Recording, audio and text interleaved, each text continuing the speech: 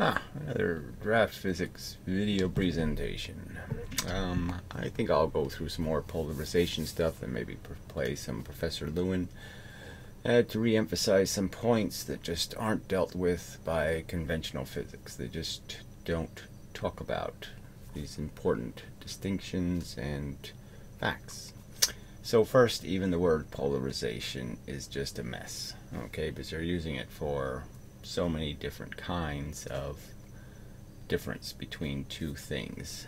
And so um, the orientation of an antenna is one kind of polarization, um, the emitter and the receiver. um, then there's this idea that the photons themselves, whatever you think they are, uh, carry some polarization information in some form. Um, then you have the poles of a magnet, um, and there's probably something else. so anyway, too many things, too many concepts having the same word. It's not a good idea. So we're already in a little bit of trouble because of that. Um, so, but they really just don't talk about these elemental things. So we have this idea of waves versus particles. The real argument is waves versus rays, I would argue.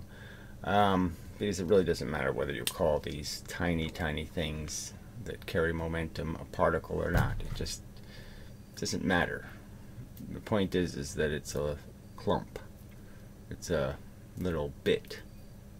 That's the thing. So it's bit versus wave, or you know, however. And again, these, I you know, I can just all I can do is draw it and just say, how does this make any sense? Where's the consistency?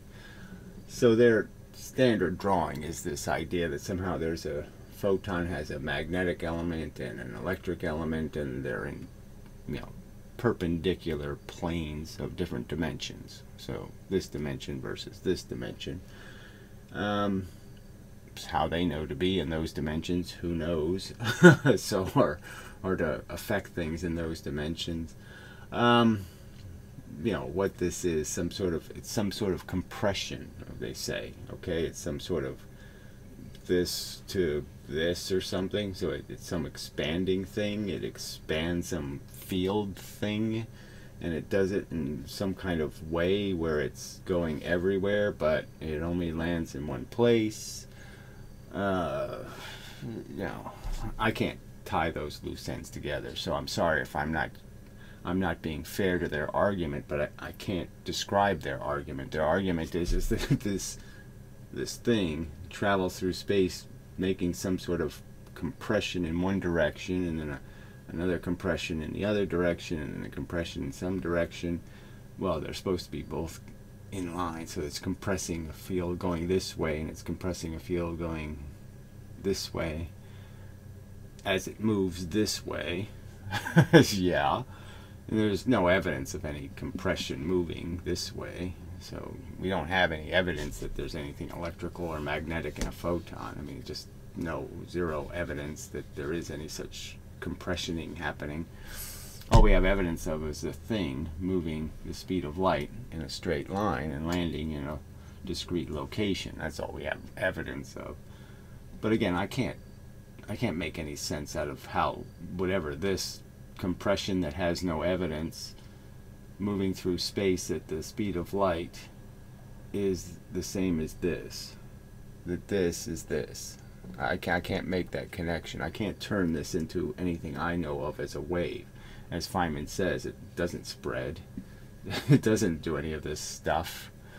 Um, you know, that is classical of what we have defined the word wave to mean and there's every indication that it's a ray of light. That so they draw this. So I, let's just concede. My my only change to this drawing is is that yeah, I'm just saying they're clumps. Okay, all right. They're not perturbating anything. They're they're a clump. It's a clump that moves. And when you have a string of them at a frequency, bullets, Alright, that's all there is. There's just bullets at a frequency, clumps of momentum, asteroids coming at a frequency. And when they come at a frequency, they can cause things that they couldn't cause if they weren't at a frequency. because it matters. Timing is everything. we even have phrases like that. Timing is everything. Not in physics, you know, not the way they teach it. All right. Well, the the key thing missing in all their descriptions of this is length. What, what are you? What, what is this? What what what is the L here? What is this? Is this a photon? All I need is this, or do I need this much, or do I need this much? Is there any description by them of how this thing, um, how how it could be quantized as a clump of energy, and yet it's completely ambiguous as to whether there can be this much of it, or this much of it, or this much of it.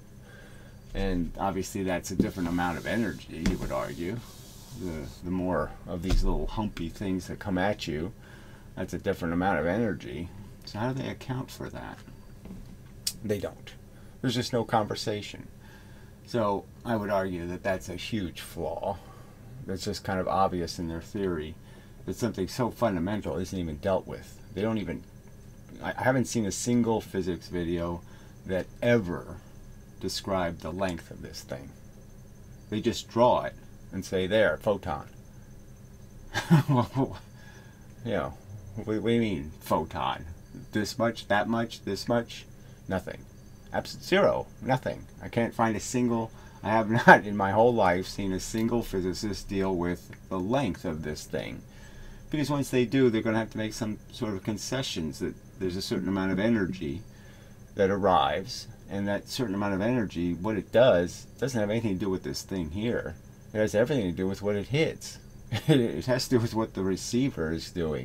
It doesn't have anything to do with what this photon is doing. If you want a different result, make it hit something different. Hit something in a different condition and you'll get a different outcome. But this thing doesn't do anything.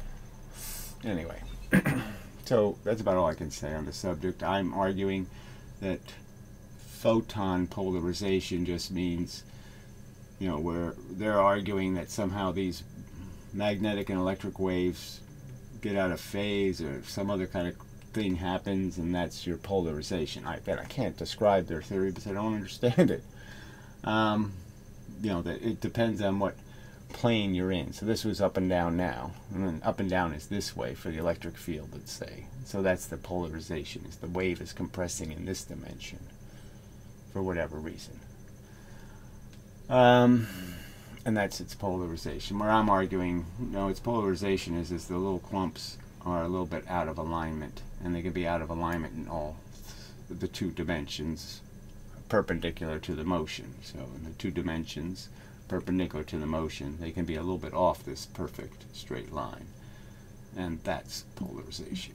So light that has mixed polarization means that each photon has elements that are not only a little bit off this way, it has elements a little bit off this way, and a little bit off this way, and a little bit, you know, any one of the dimensions. And polarizing filters are just scraping the the biggest offenders out of the ray, which is essentially just erasing part of the frequency. You know, if this guy doesn't make it, I lost my frequency. It's that simple. All right. um, all right. So phase. So that's a you know another really important subject. Um, the frequency, everything is frequency dependent. Uh, in terms of, let's say you were going to, you know, in the example of Professor Lewin, create a reflection. You're going to bounce this off of something. The key thing to for this frequency is if this bounces off when, if the timing of this isn't just the right distance, then this will end up, the return stroke will be out of phase. And uh, you know, and then if it bounces back again, it's going to be off another phase. It's going to be a whole different phase. So you, you got no resonance there. So that's the idea of resonance is having exactly the right distance between your emitter and your transmitter. That this ends up this this U-turn ends up being a, a complete cycle, and you end up with a clump here, and then you have something called a standing wave, because they just keep reinforcing each other. Okay, they keep ending up in exactly the same location. These are the ones I should have X'd. This little jerk. Um,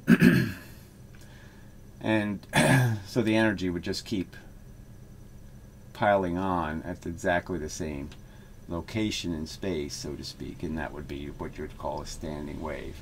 But you only create standing waves at specific frequencies at specific distances. So this becomes very important.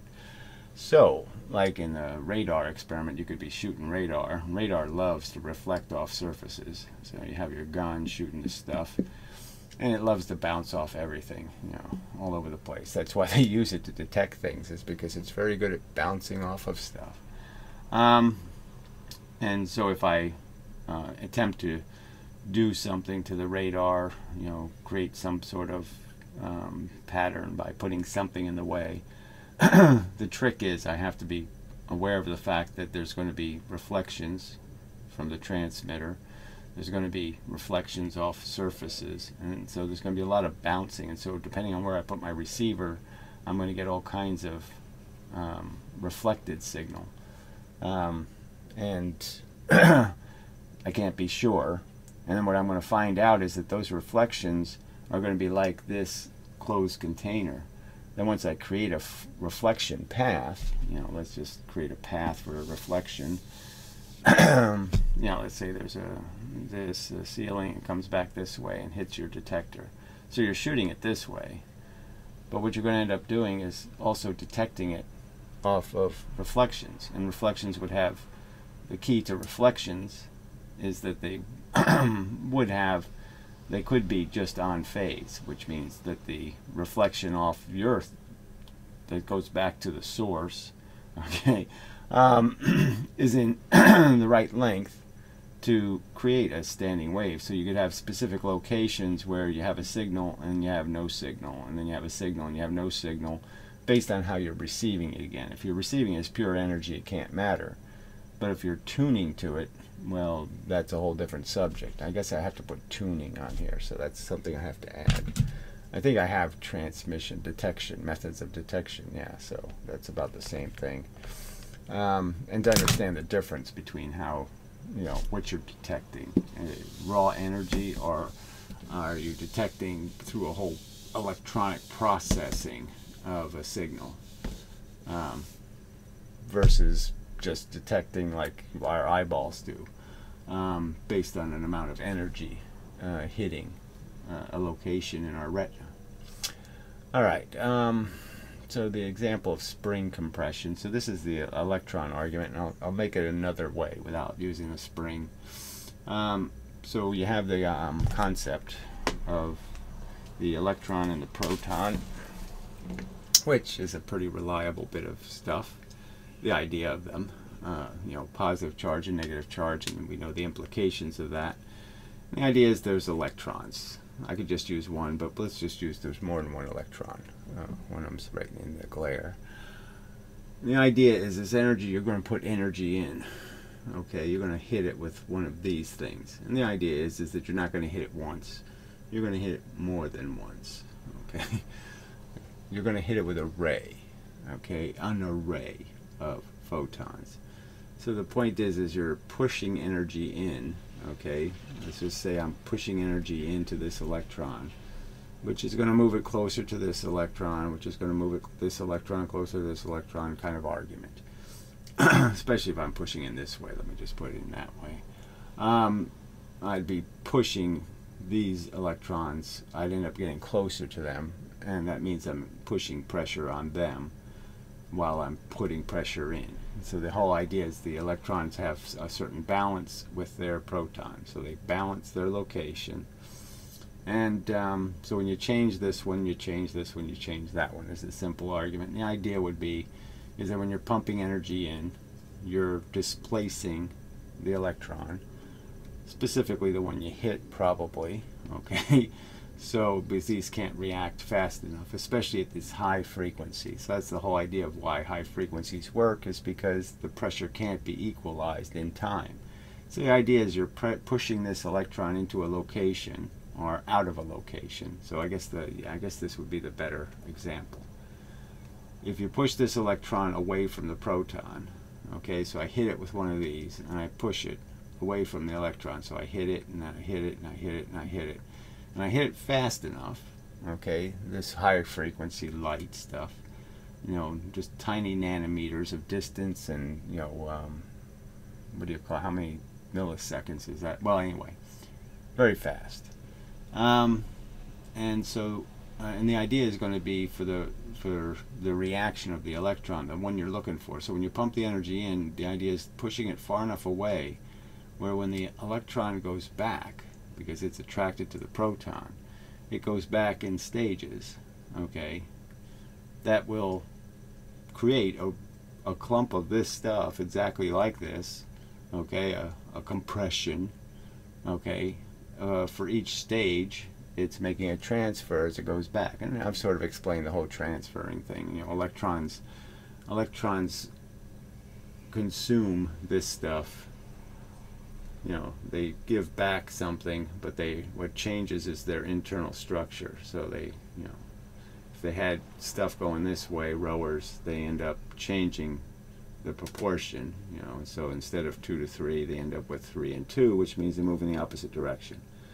And the point is, is they're going to do that a few times to get back to the proton. So just as the energy came in clumps and pushed it out, when it goes back, it's going to clump energy back into the universe. Um, all right, so I didn't really want to get into that much depth of the theory, um, but I just wanted to point out that what's the, the real idea is is that you're just going to have a spring, the electrons on it. That's the tension with the the, the proton and the idea is is if you want to compress the spring deep the deeper you go is this is where a new photon will be created if you get this deep and you can only get that deep if you hit it fast enough so it doesn't rebound you have to go you have to hit it with energy quickly enough so it doesn't have time for the spring to fight back and that's the only way you can get deep enough to release the photon the to have the event that we record as electric current or whatever we record. All right. So, next, um, so methods of detection. So they're different. Okay, causing um, a, a, photon to a new photon to be emitted. Okay, um, a piece of energy, or causing a an electron cascade, like with a photodetector, what they basically do is they put a whole bunch of electrons in almost a, um, you know, where they're going to exit their atom. They're so excited. So you heat these electron, you know, these atoms, get the electrons really excited uh, in the sense that they're pushing their envelope. So they're really easy to kick out. And by moving the electrons you know, so you hit one electron, one electron bangs into another electron, it knocks two electrons free, let's say, and then so on and so on. It's more like five to one. So each electron that hits another electron ends up, that electron ends up hitting five more electrons, and you have a cascade of these electrons ionizing. And, um, you know, we measure that as a voltage and say we have something hit it so the other things, the other detectors are detecting things in a much different way. So in some of this this frequency stuff is so radio is very different how we detect it. We detect light based on that compression argument. The light has to actually move an electron a substantial distance, some real distance from you know from the proton for us to get a current. Um, but in radio, we're creating uh, an artificial, again, an artificial circumstance where we're creating a competing, you know, uh, frequency, and um, using that to, um, I don't know how to say, compare to the energy coming in, and if they're on phase, that is, if the, if the if the frequency we create matches the frequency there, there's one of the ones hitting the antenna, the two will in the oscillator uh, reflect. Uh, they'll be at the right resonance. And so they'll keep reflecting back and forth and amplify the amount of energy we see. So it's detecting a different phenomenon. It's not detecting ionization.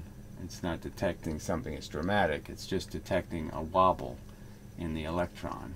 And you're just setting up another wobble that's very similar and basically saying can you add energy to this system with your vibration? Is your vibration going to constructively, okay, like when this thing's moving this way, you throw in something going this way. And when it's coming this way, you don't throw anything.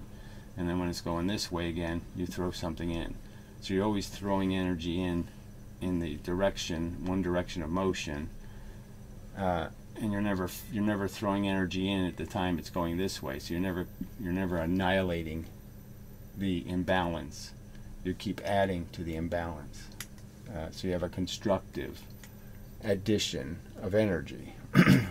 I mean, it's unfortunate they use words like uh, destructive and constructive interference. So it's really not interference. it's it's it's adding energy to a system or subtracting energy from the system. And energy is the imbalance. So the more imbalance you have, the more energy you have. And so you're trying to add to the imbalance. That is, add to the, uh, you know, to one side or the other, but you're adding to the creation of imbalance. All right. Um, okay, that's probably enough on that. So you just have to understand that photon isn't photon isn't photon. They're all the same, the photons. The only thing that's different about them is this difference of, you know, how far apart they are. You know, uh, red light is almost twice as far apart as blue light. So if that was blue, this would be, red would be, you know, almost twice as much. These damn pens are such a bitch. Stay. um, it's better. Um, so you, you know, it's just a, it's just frequency dependent, um, and uh, you know nothing miraculous about the idea that you would say this has more energy. Well, obviously because there's more density of clumps per time or distance. I mean, obviously there's more volume, so to speak, but there's nothing fundamentally different between this photon and this photon. The difference is, is what effect they can have in a world full of things you can tip over, you know, that have tipping points. So it matters, frequency, in a world where everything is tippable. How much, you know, if everything's wobbling on the floor, you know there's certain bounce rates. You know, you could bounce the floor at certain rates that are going to cause everything to fall over.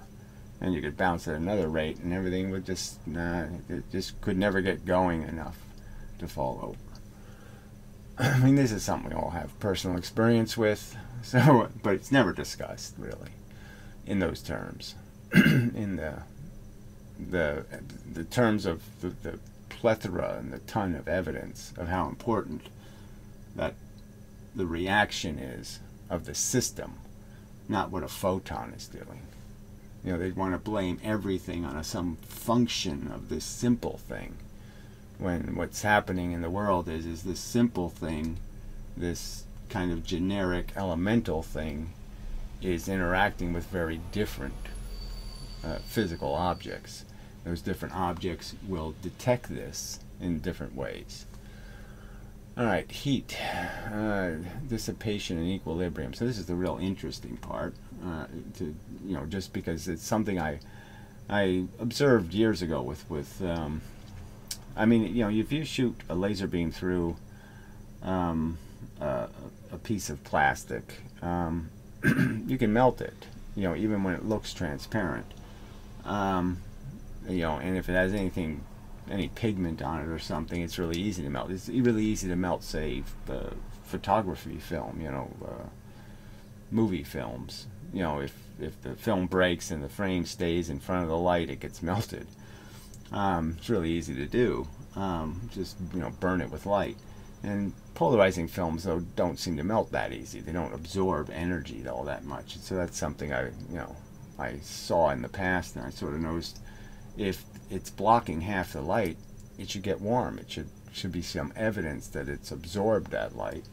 And I just didn't realize that it's not really absorbing it. It's just making the light less visible. So you know, these this light just goes in and say a frequency, and it comes out because of this polarization fact, the fact that some of these are out of alignment. It comes out still as energy. It's just that one piece of the energy has its phase shifted. That means it's lost its correct location. So it's still here. It's just here, you know, where it's not supposed to be. And so this frequency is not going to be detectable. It's not enough of a photon.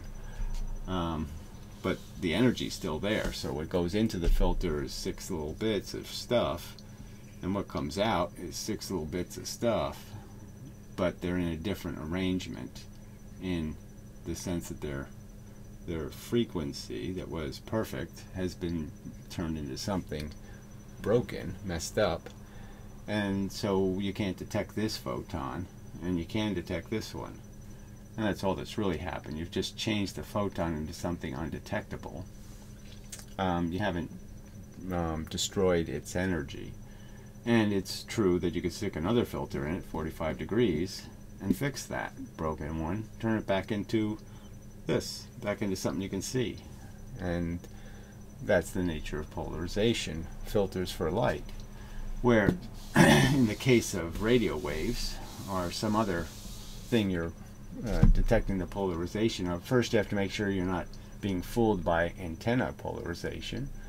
Uh, that's the next subject. The two different, fundamentally different kinds of polarization. One has to do with the, a group effect, what's happening to a group of photons, and the other has to do with you know, and how many how much volume of that group can you detect when it was shot this way, and you're trying to detect it on an antenna going this way? Well, you're only going to detect this band, you know the 180 degrees of this one plane and uh, you're going to miss all of this, this, this, this, this, this, this, this. You're not going to get any of that. Or if you have the antenna this way, you'll get all of this radiation uh, that's denser than the circumference radiation. The circumference is small, the length is long uh, big difference in the volume that you can collect. So I'm jumping ahead. So back to uh, heat dissipation. Uh, so yeah, so that's really kind of the, um, thing to look for is the stuff should get hot. If the if you use a metal um, conductor as a filter, um, then you should notice that if it's going to conduct electricity, it's going to get hot. There's going to be some heat in the conductors. Uh, and um, I think that does happen. So in the case of uh, radio, I don't think you can actually do the um, repair job, okay? Because what you're doing is you're actually hitting, you're, you're scraping off these photons that are out of alignment. And when you scrape them off, they actually do go into the antenna and so you lose that one. Um, it can't go this way at any rate. Okay, it's not going to it's not going to go forward. Um, probably not. Uh, but it's certainly not going to go forward at the same phase because it went through this antenna. So you could understand that the phase argument still could be true in the sense that it goes into the metal, polarizes the atoms, which causes the flow of electricity, um, but it also comes back out. But obviously going through the antenna would slow you down because going through any medium slows light down. So it slows, it changes the speed from C to something else.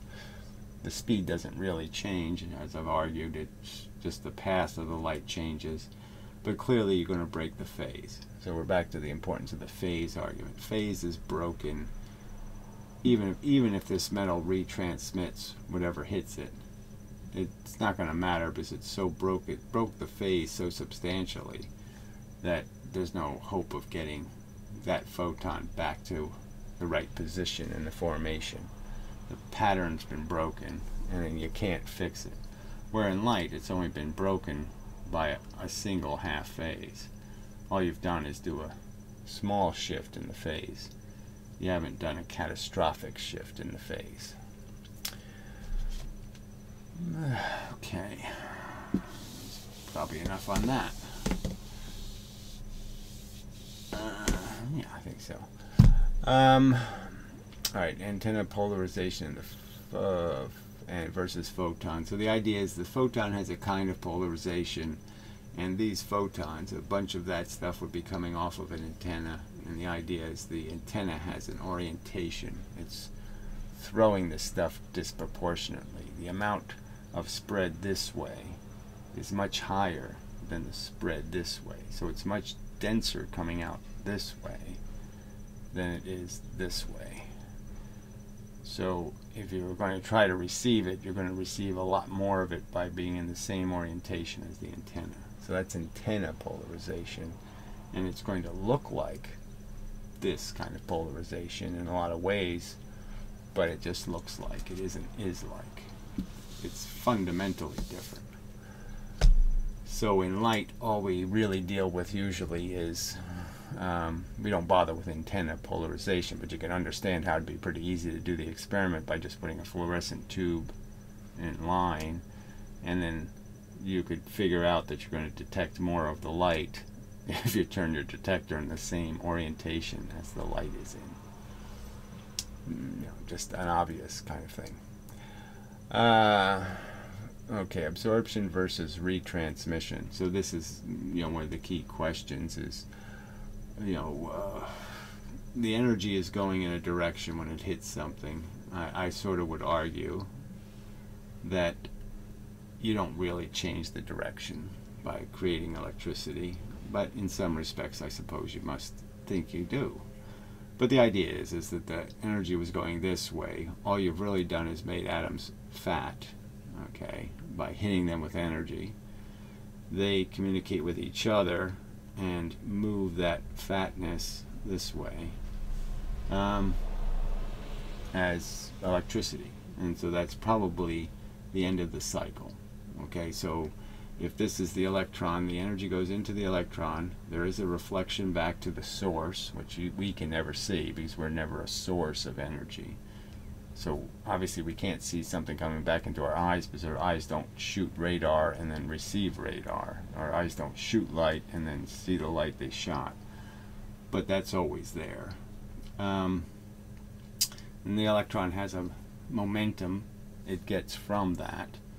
Um, and the question is, is that for that, for this atom now, if I call this a whole atom, if it's going to exchange pressure this way, that is, this one's big, this one's small, and they're going to both equalize. So this one's going to get bigger. Uh, well, yeah, that's not going to work. All right, we'll just go back this way. Um, you know, so this one's going to get a little smaller, and this one's going to get a little bigger. So just pretend this is bigger than that. Oh, pen. Anyway, um, so they're going to equalize to each other's pressure. And that means that this one's going to be next to one that's somewhat smaller than it. So these two are going to equalize and so on and so on and so on. So the energy moves perpendicular okay, to the direction that it entered. I don't think it has to be, obviously, perpendicular. I think it could come in this way or any way, but it doesn't really matter. Um, but the idea is, is that that sort of completes the cycle, is that you have motion this way, and that's converted into motion of the atoms in terms of a change in their pressure going this way, and that kind of finishes it. And there's no real room to retransmit. Um, but as the channel's defined, I'm a little drafty on that. okay, I have to, I have to think about it because this exchange isn't really cost anything. One thing gets bigger, one thing gets smaller. Know, but um, yeah, I'd have to. I just haven't gone through all the permutations on that one yet, so we'll leave that an open question. I could have put a question mark. Absorption versus retransmission. Question mark. What's the nature of absorption? If it's going to absorb it, see everything reaches. That's the other heat argument you know everything has a, an equilibrium so to speak is you can't keep just pumping heat in unless you're making something hotter and hotter and hotter. If something's at the same temperature then you know whatever energy is going in it's got to come out somewhere. It's, you know what goes in comes out. It's it's you're just looking for where it's going. You know you're trying to follow it. And if you follow it strictly as movement well you could argue you can see it in the sense of the fact that um, you can see the effect of the energy in the sense that something's moving inside the light filament. It doesn't have to be moving in a direction, it just has to be vibrating. So, so you're causing stuff to move. So um, you've taken movement that went in a source miles away and the movement goes through the wire and then the movement comes out the light bulb but it, all the movement can be is just you're changing something that was moving like this into something that's moving like this. You know a lot more uh, same same speed bigger distances that kind of thing however you want to describe it. Um, more pressure so you could say smaller distances create higher vibrations. Anyway um, in a different form. So yes, so retransmission in a different form, um, which means it can create different kinds of photons. So you could put a light photon in, and you could get infrared out. You know, something a higher frequency out, just because you've changed the phase. Changing phase essentially means changing the frequency often. I mean, if I change the phase of one of these nodes and put it a little bit off phase, I've created a higher frequency here. So if I do it more than once, I can change this big frequency into a smaller frequency just by messing up the phase. um, but that takes time. So you always have to consume a little bit of time to do this conversion from from this frequency to this frequency would take a little bit of time or vice versa going the opposite way you'd consume time to do that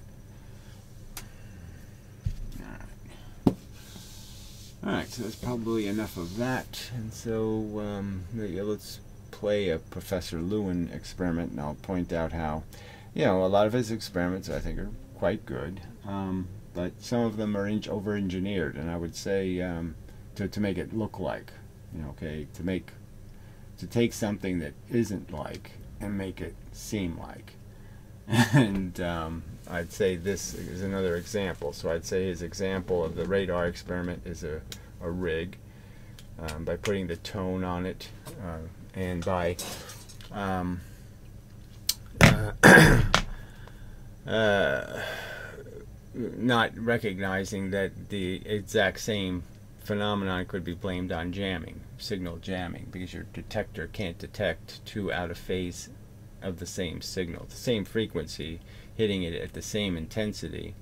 If the two signals are out of phase, it can't detect either one.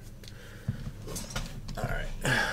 Uh, so, uh, and you know, it's that's just jamming. It's not. You don't need wave interference for that. All right. So, off to the video. All right. So he's just gone through Maxwell's equations, trying to point out how, as I pointed out before, that there's this uh, resonance argument. Maxwell's equation is basically arguing in this closed loop of a plane of you know, shooting your EM. Anyway, that there's somehow it's a standing wave being created. And as I sort of pointed out, true of you know, musical instruments, anything, the resonance is completely frequency dependent. So you have to have the right frequency and the right distance to create a constructive standing wave um, uh, it might be perfectly destructive, actually, a standing wave. But anyway, it doesn't. You know, don't really want to get into. You know, the point is, is it's very frequency dependent. And so the sum of the incoming wave and the reflecting wave must be zero here. So I don't want to see that light at all. Right. So he's using, uh, uh, like I said, Maxwell's equations to say that somehow. Um, let's see how to put it.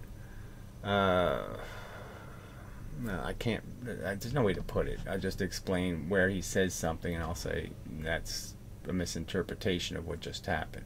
And then I will walk out in the lecture hall and see whether there are locations in the lecture hall where we actually receive electromagnetic radiation. We will see the light, and where we will not. See. Right, and all of those are going to be manufactured by reflected light. So, you know, he even points out how he doesn't, he hasn't calculated the reflections in the room. So he's basically saying that he's turned the radio wave by being in a certain position. He's created a certain distance from the antenna. The antenna, the the the frequency is going to be 88 kilohertz, which was three meters, three point something meters. So every three meters there would be a node, uh, you know, where the the reflected beam and the um, the emitting beam are both at the same exact location in a specific time. So at a specific time, they'd both be one would be going this way, one would be going that way, and they would create a standing node. Um, obviously, that would be very frequency dependent, and the distances would have to be consistent. It would also mean that the first wave, that is the first three meters, you shouldn't get any signal till you get three meters away. There shouldn't be any signal detectable until you get to three meters. And the obvious truth is, no, you can pick up plenty of radio from an inch away, two inches, two feet, five feet. You know, three meters is uh, nine feet, uh, whatever. if it was a yard, um, whatever it is, eight feet. Um, you know, that would be where you should start to get a signal then if it was a standing wave. So this has nothing to do with standing waves. There's no standing wave. The light. So, make sure that this is not too close to the transmitter because otherwise we will blow the all right, so I the transmitter looks a little bit complicated, frankly, um, but the receiver, he says, this is what it is. Um, and I think the transmitter is doing the same thing, frankly. Um, so it's just two antennas, and they are grounded essentially through a light bulb filament. Okay, like that. And so the potentials of these two antennas, you would sort of argue because these pieces of metal are a certain distance from each other, this one's going to be the opposite of this one, you know, in its polarization uh, you know, just because it's metal and that's what metal things do. And so this one's going to tend to get a higher potential. As the radiation hits this one, it's going to increase the positive here, and as the as the energy hits this antenna, it's going to increase the positive here. You know, so the negative is decreasing. I'm just saying. So this is going to go, you know, this potential goes down, this potential goes up, creating a voltage that goes through this filament. It's the basic idea. Uh, the transmitter is some kind of looks a little loopy, but it has two antennas. Okay, so it's sending the signal also in two hunks of antenna, not in one static antenna. So I think you could do the experiment just as well by having a straight antenna, putting the energy in one end as a transmitter, and then do the same thing with the receiver. Just take one end of this antenna to ground you know, to ground. And um, you could do the same thing, but this is their technology of choice. Just for those who are smart enough to understand how this makes a difference, I just thought I would try to be accurate to what hardware is being used. Oh. So let me first show you then that when I stand here, that I'm receiving this electromagnetic radiation. Right. Now, if he stood two feet away, he's going to receive even more of it, and one foot away, he's going to receive even more of it. So there's absolutely no phase dependency in here at all. And if this was phase dependent, that is, if all the energy was in certain nodes, certain locations, then as he went closer, he should get no signal. So there is no location specific nodes in space here at all. There's no standing waves going back and forth and doing any of that stuff. It just easily can't be the right answer. But it's what he's asserting. Remember that the E field is So you can see it got brighter as he moved it forward. There, there's no there's no phase here somewhere where you have to be on phase. There's no distance that says, okay, that's where the energy is. Nothing like that. Proportional to the sine of theta. And so I'm here in an, in an excellent position, so I get a maximum electric field. Well, you get even more if you move half the distance. You'll get even more. Uh, you know, you'll burn your light bulb out maybe. If I rotate it like this, Right, so that's just antenna polarization. As a point, it has nothing to do with what the photons themselves, their polarization. It just, you know, which way they're moving in a magnetic field or an electric field. So you believe in the wacky bullshit. This antenna polarization has nothing to do with the what what dimension, okay, the magnetic field is being wobbled in. It has nothing to do with the photons polarization. There's nothing, and that has to do with the polarization. There's nothing to do with standing waves. And this your this whole this whole demonstration has nothing to do with standing waves. Really doesn't. With polarization. But now look, I claim that there must be here a nodal surface. There's no electric field. All right. So the claim is is if you put a, uh, a an infinite plane, right, conductor on the end of, say, you know, this field. So if you put an infinite plane conductor, a piece of metal that was an infinite conductor, it would conduct all the energy away, right? I mean, there's no there's no energy that could be coming off of it, no field, no nothing, because all of it got conducted away.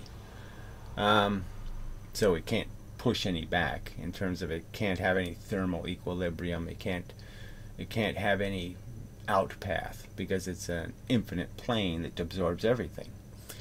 Um, and so he's kind of claiming that's what the blackboard is in practical sense. It's a big, huge piece of metal behind the board. This big, huge piece of metal is now creating a, a, a place where you can't bounce any waves off of it. So you can't create any nodes. Now he just showed a node. He just pretended he had a node in front of it. So that doesn't make any sense. There's no node. So this is so watch and learn.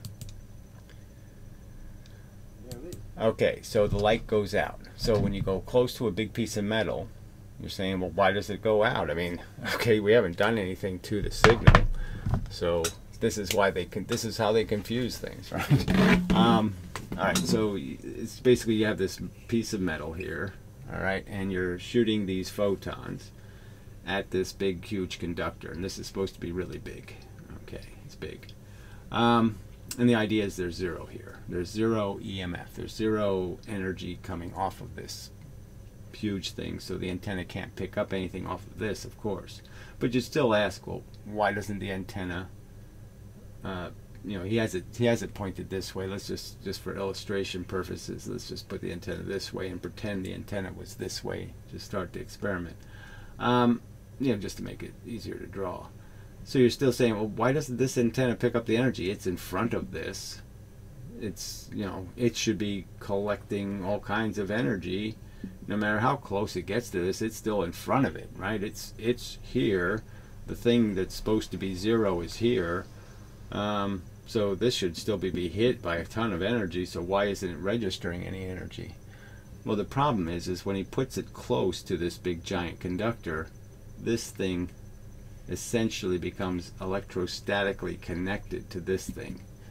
So it essentially loses its it becomes polarized. The antenna ends up being energized essentially to the energy of this because it, you're bringing it so close. So when you're bringing something close to something, it essentially becomes part of it. So if the moon was three feet off the Earth, you'd consider it part of the gravity of the Earth.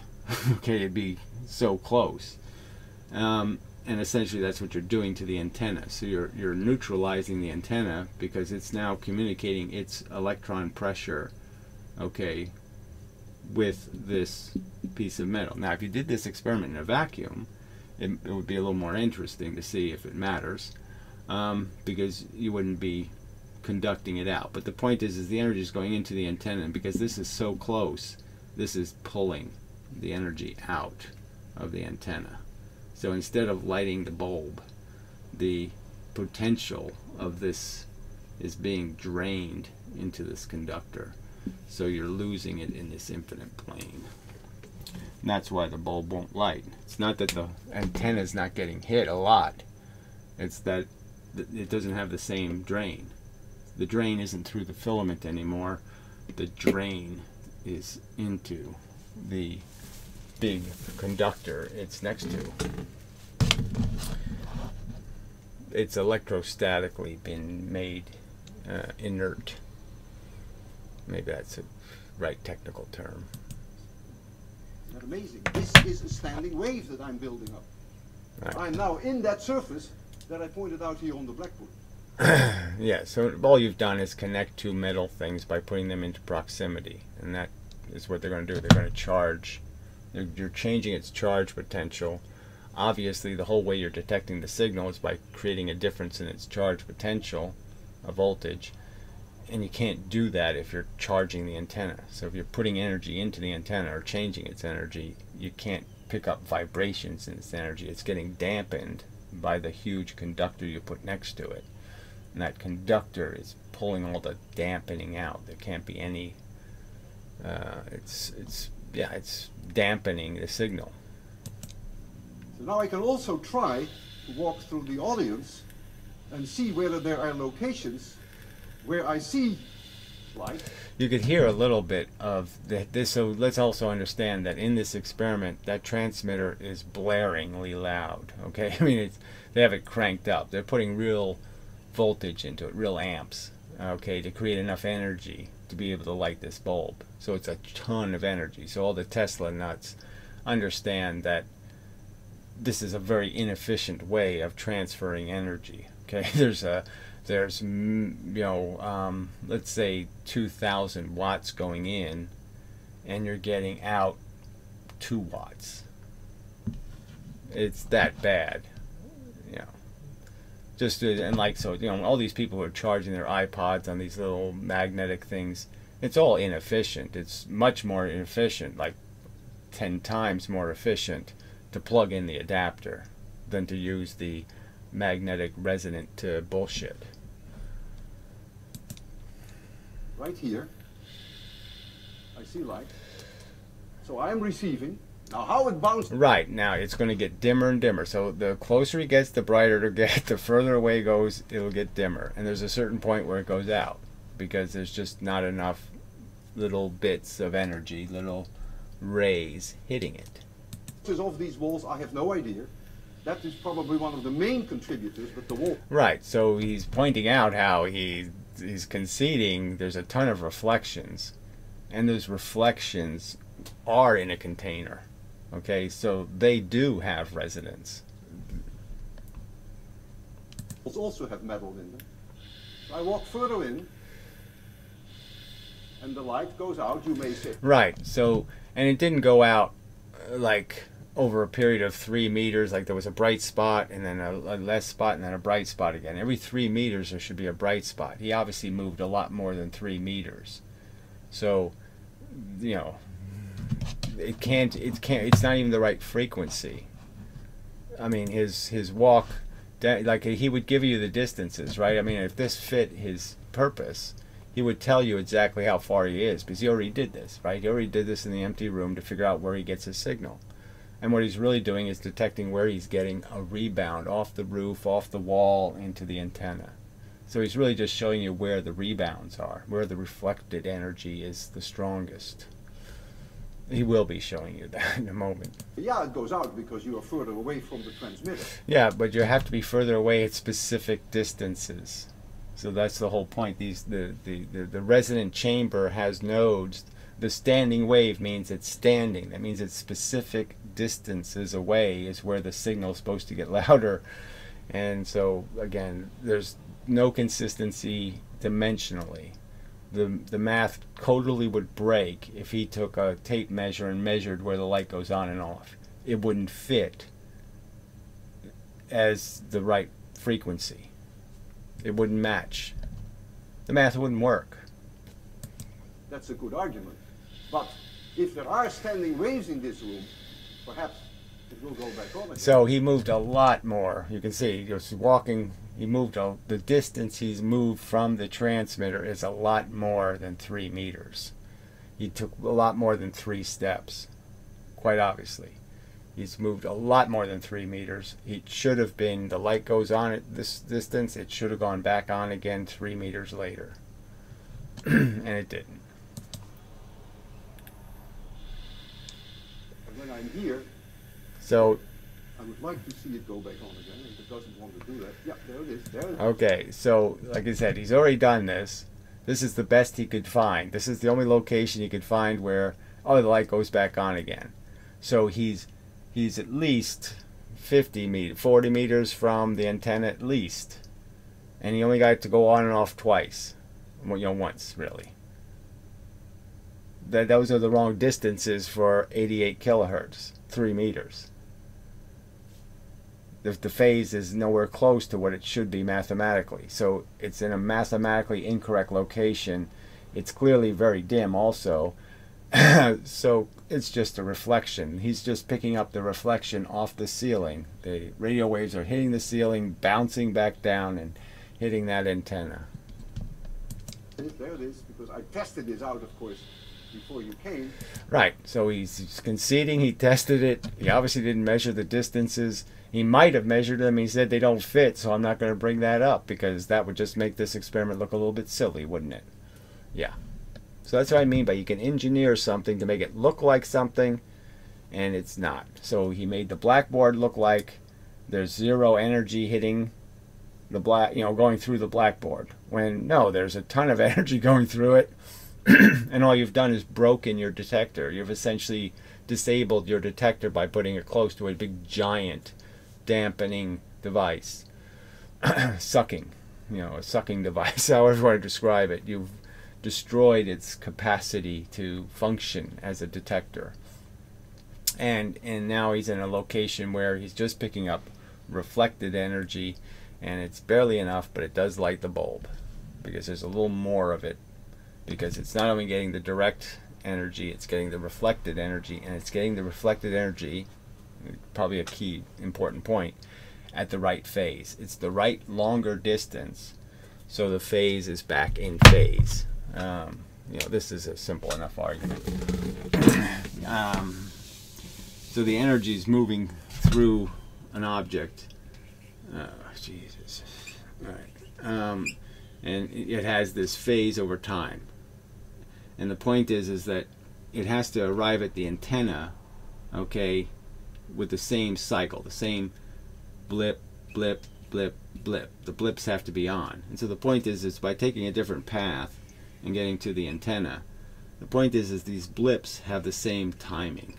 Okay, they're for the reflected point he found. This blips the same time as this does. This hits the antenna, even though it took this longer path, at the same time that one does. So it's not obviously it's not the same ones at the same admitted at the same time. They're just admitted at the same frequency.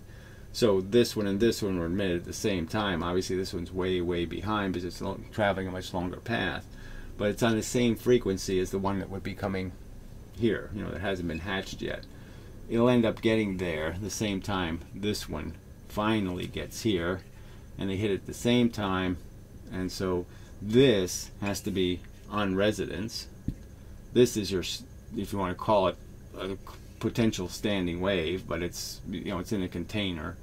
Um, but the point is, is that the energy is arriving at the right time, um, and that's all he's found is that the distance to the ceiling, to the thing that's reflecting, you know, maybe it's a steel beam up there in the ceiling. It's the, just the right distance. It causes just the right angle of reflection, and it ends up giving you this little extra energy. So it's getting, it's further away from this. So this is getting weaker as you get further away. But it's getting, now it's at the right location to get this extra energy. And that's what's lighting the bulb. So there's just, there's absolutely no standing waves in the air anywhere. It's moving photons, moving. You see? Light again. Can you see it? Just tell them that you see it. Yeah? It's not very strong, we're very far away, but it's clear. This light is substantially brighter than it is here.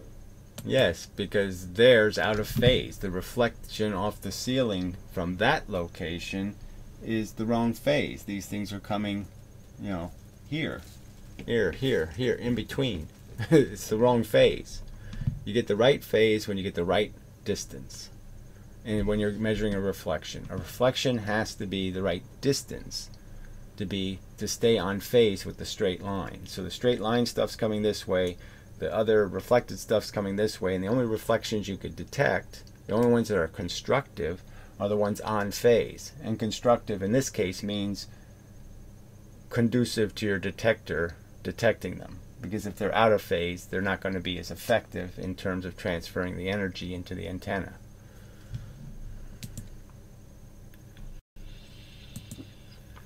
Nothing here, but here it is stronger. There it is. And so there is a huge, incredibly difficult pattern in this room of um, locations where the E fields are very weak. So you see, he moved clearly six, seven, eight steps, whatever it was, uh, much more than three meters, and the light goes back on. So it's nowhere near the point. The nodes aren't where they're supposed to be. It's it's not a standing wave. He's detecting. He's detecting uh, another effect, a different effect. So he's using this to demonstrate how Maxwell's equations say this, this, and this. Maxwell's equations do have nothing to do with, in this case, these um, these reflection or, or, I don't even know what you'd call them. These phase. No, it's, it's more like resonance. These resonance arguments are meaningless in terms of what these photons are doing. They're not creating standing waves. They're moving from point A to point B. They're moving from the antenna to the other antenna from the transmitter to the receiver. No standing wave. And where the E fields are very strong, like here, here is even weaker. I think the most spectacular one is uh, what I did first, and that is to show you that uh, it becomes zero at the blackboard, which is really a very well controlled plane of uh, conductor. So you can hear when he moves it in front of his his um, so it's another example of just how much these things distort. It's like a metal detector, essentially. But you could hear his microphone go funny when he moved the antenna in front of the microphone because the two were becoming entangled. And so when he puts the antenna next to the blackboard, he's just saying, I'm going to entangle this antenna with that big giant piece of metal. All right, I think I've made the point.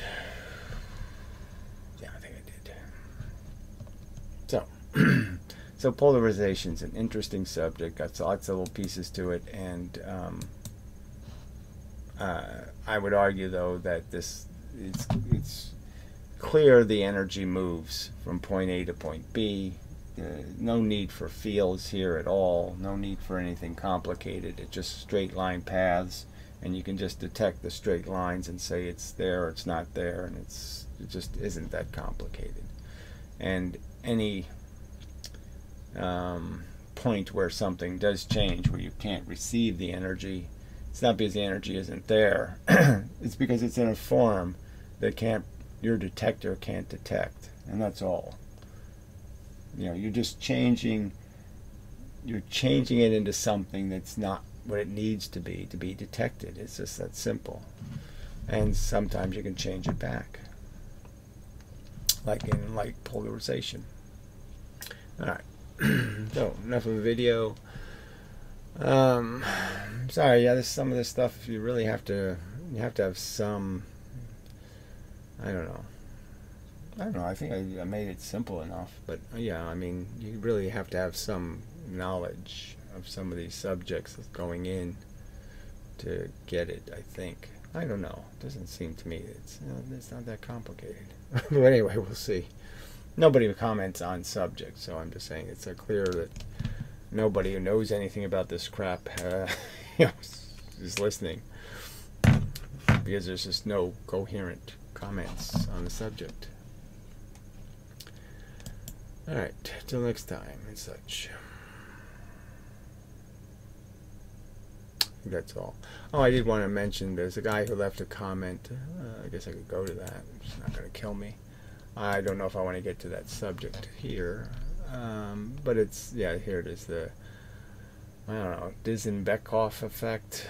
It's an astronaut guy, um, and it's really an interesting effect. Um, you know, he, he took a you know he's a Russian space guy. He spun wing nuts off of a piece of metal, and the wing nut flew through space off the metal, and it kept flipping this way and keep moving, then flips the other way and keeps moving, and flips the other way and keeps moving.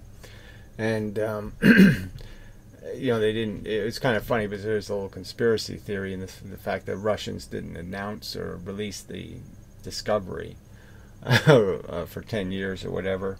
They were concerned that the Earth might do the same thing.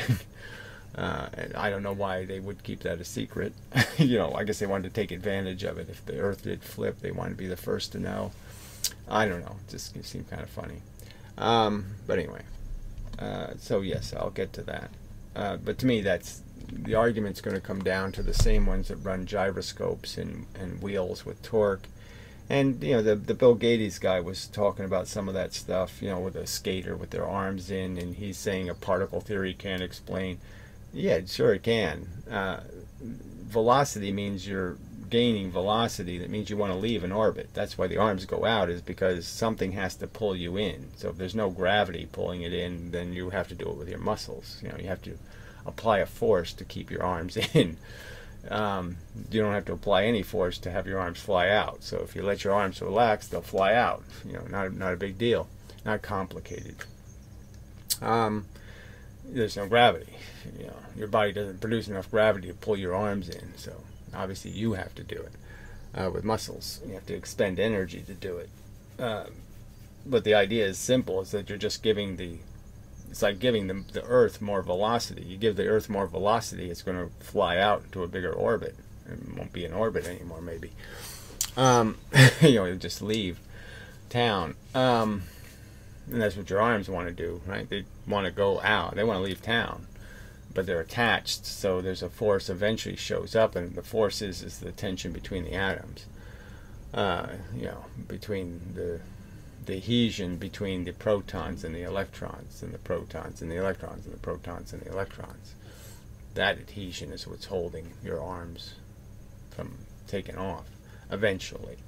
Um, but anyway, uh, but yeah, so it, it just gets into this idea that if you see this motion, right, there's got to be a friction somewhere, and the friction is somewhere on the inside because there's conflicts in the velocities.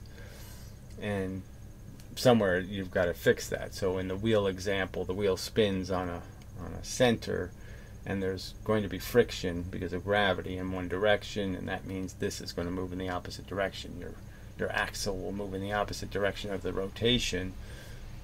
Okay, because there's more friction on one side of the axle than there is on the other side of the axle. The opposite with the direction of the motion. Yeah.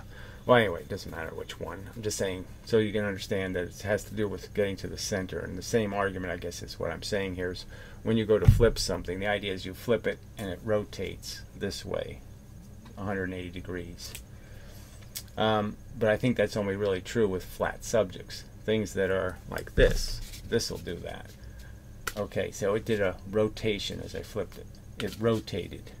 Okay this way. I didn't want it to go that way. Okay, black to, you know, blue.